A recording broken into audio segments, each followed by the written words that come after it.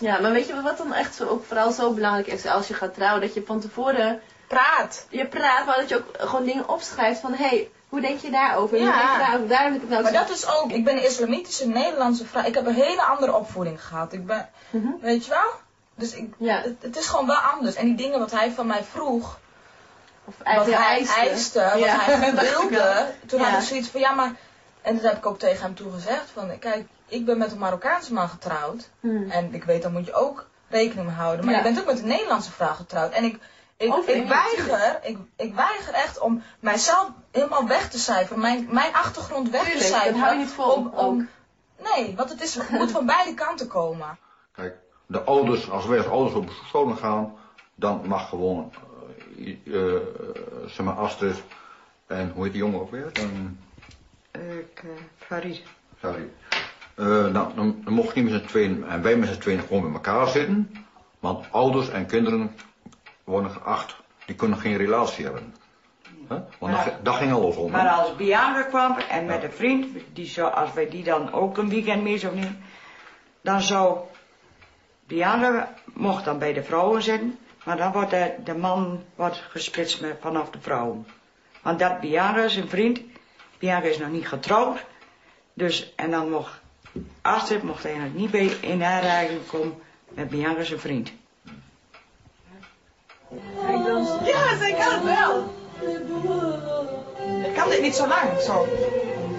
Maar ik heb toen ook zo geleerd. Moest je zo staan, zo stil, en dan helemaal zo trillen.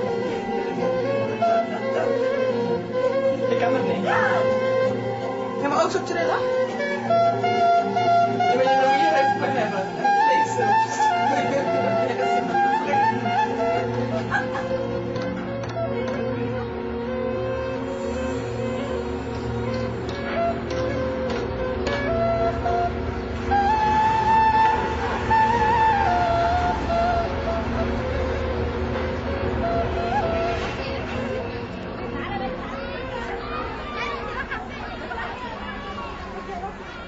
Ja, ik moet mezelf er dan ook wel af en aan herinneren van ja, waarom, waarom ging ik ook weer naar Egypte? Waarom wilde ik dit graag? En wat is er daar wat ik, wat ik mooi vind en wat, welke uitdaging ik uit, aan wil gaan?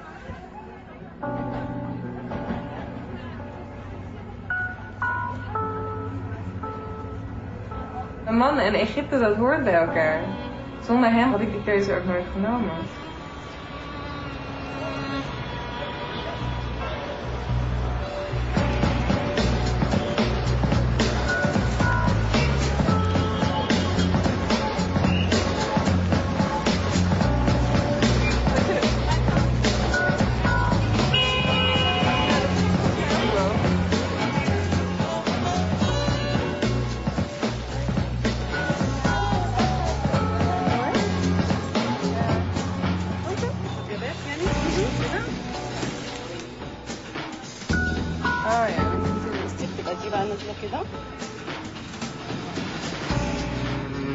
Hij is een hele rustige jongen. Eh, een heel erg goed karakter. Altijd, hij, staat altijd klaar voor anderen of om, om goede dingen te doen. Voor hem is het heel belangrijk om zijn gebeden op tijd te bidden. En eh, ja, het is gewoon een hele jongen.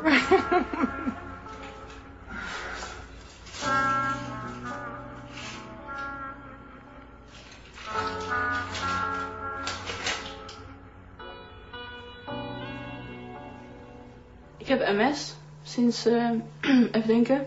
Ik heb het al lang, maar ik heb in ze- in 96 is de, is de diagnose gesteld.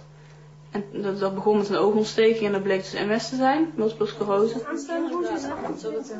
Het zal jullie niet ontgaan zijn dat het met mij lichamelijk, alhamdulillah, niet zo goed gaat.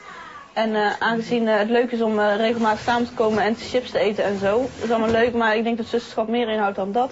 Dus ik wil een beroep op jullie doen. Nee, expres. Eh wou ik zeggen, de, ik heb eh, gezinshulp aangevraagd, maar dat schiet allemaal helemaal niet op. Dus dat, eh, dat werkt allemaal niet. Dus ik zit een beetje in de stress op het moment. En mijn man nog veel meer dan ik. Dus die doet eigenlijk alles. En het zou heel fijn zijn als mijn zusters mij ook een beetje zouden willen helpen. Dus jij haalt om 9 uur op? En dan om 11 uur ben jij bij. En ik om 11. Moet je